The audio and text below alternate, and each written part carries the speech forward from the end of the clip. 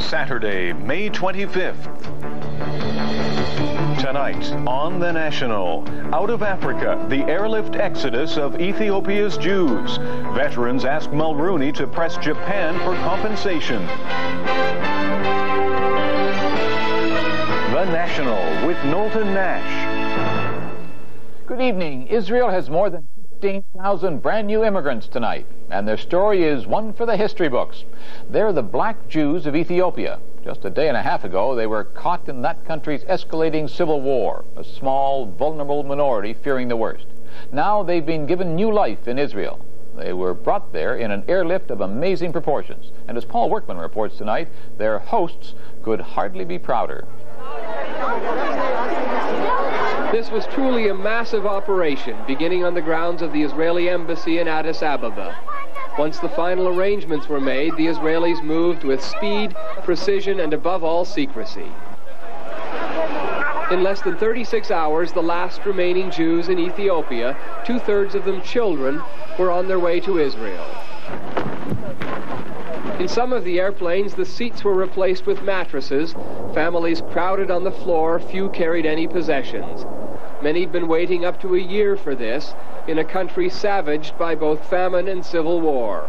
Hello. Hello. For Israelis, this was an especially passionate moment.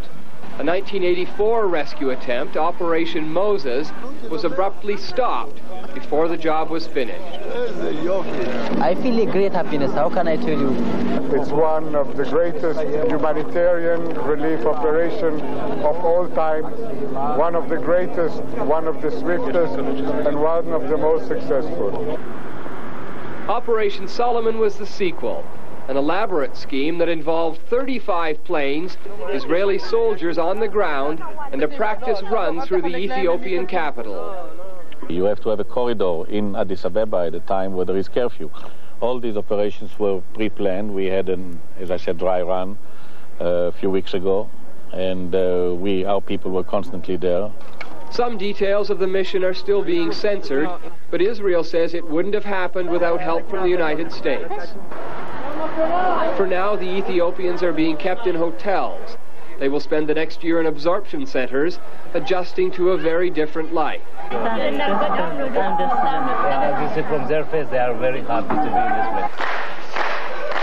According to one Jewish legend, these are the descendants of King Solomon and the Queen of Sheba, the black Jews of Ethiopia. Today, they are also Israelis. Paul Workman, CBC News, Jerusalem.